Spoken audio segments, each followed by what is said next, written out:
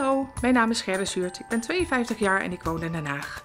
Ik ben graag met recycling bezig, onder andere met dit leuke dopje van de doucheschuim, een oud spijkerbroek, gewoon een stukje afknippen van de, van de pijp, stukje eronder naaien, ander lapje erop en het ziet er gewoon hartstikke fleurig uit. Je kan ermee doen wat je wil.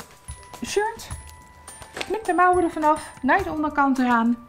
Ik doe hem lekker op een zomerse dag, neem ik hem mee naar het strand met mijn handdoekje en ik ga lekker op pad. Dat doe ik. En wat doe jij?